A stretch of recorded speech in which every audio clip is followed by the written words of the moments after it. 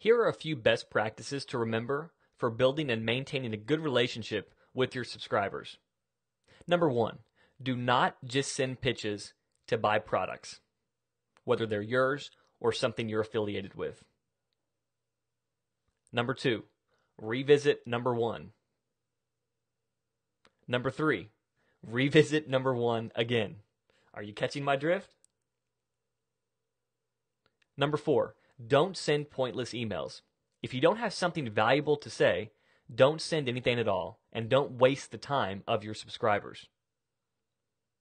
Number five, send special reports that are free and of immense value given the focus of your niche or product. Number six, here's a novel idea. Send out simple two to three question polls asking your subscribers something they might want to know more about given the scope of your product or service. This is a great thing to do and something I hardly ever see people do when it comes to email marketing. Number seven, keep your subscribers up to date with the big personal things in your life. Nothing builds rapport better than sending out short emails about exciting things in your life. If you're not comfortable with that, post it to a blog. People like to buy from people they know, and when you give them opportunities to know you, the relationship goes a little deeper. Number eight, the best friend test. Ask yourself whether or not you would send this message to your best friend, assuming they had expressed interest, of course, in your area of expertise. If the answer is no, if the answer is maybe, don't send it. And number nine, the golden rule still applies send unto others what you would have them send unto you. Let's take a look at some numbers to really hit this point home. Suppose you have 10,000 subscribers and you've taken the time to develop a mutually beneficial relationship where they feel one, like you are a true friend, and two, trust your opinion and view you as an expert given your area of expertise. Imagine there is a product or service that will address a specific need they have, and after your investigation, you decide this is truly something your subscribers will benefit from having. After crafting a wonderful message, you hit that send button. Now, before we crunch the numbers, let's backtrack for a minute and see what would happen if you had not taken the time to develop a good relationship with your subscribers. And regretfully, this is something I know from personal experience. Here's what will happen you get a lot of people who click the unsubscribe link. After all, they just as fast assume it was spam since they don't even recognize who you are. Remember the whole part about getting a list but never do anything with it until you want them to buy something? Yeah, now you see why you shouldn't be doing that. Secondly, maybe only 5 to 10% of your subscribers will even open the message. With a list of 10,000, that would be 500 to 1,000. So, okay, that's a pretty big number. We can live with that. Or can we? Of the 500 to 1,000 that open the message, only 10% of those actually click through to see the product you're recommending. 50 to 100. Okay, not too many, but hey, it's still 50 to 100 targeted clicks, right?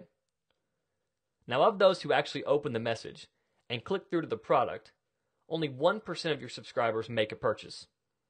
So when you do all the number crunching, that comes down to one sale. You then decide it wasn't a good product and it wasn't your fault and email marketing doesn't work and you just move on. Now let's take the same 10,000 subscribers and see what happens when you developed a good relationship, establish yourself as an authority, and you send out this same message. For starters, you might get a couple unsubscribers. That's completely normal.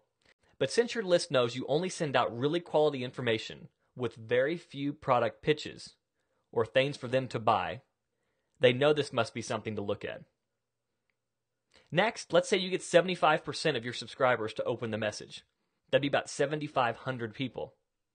Of those 7,500, let's say another 75% of them click through to see the product. That would be about 5,600 people.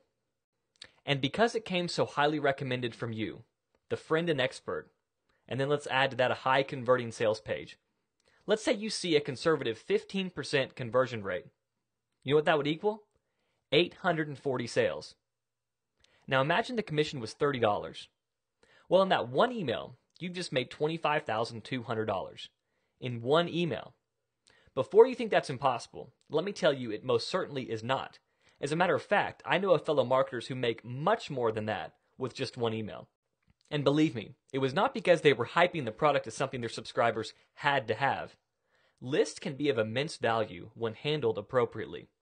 If you're going to take the time to build an internet business, or if you have a business that you're trying to take and move online to get more customers online, take the time to build your list right. Focus your efforts on making sure the customer ends up with 10 times or more value for every dollar you ask for in return, and then treat each and every one of them as you would your very best friend. If and when you do this, you will inevitably find success with email marketing.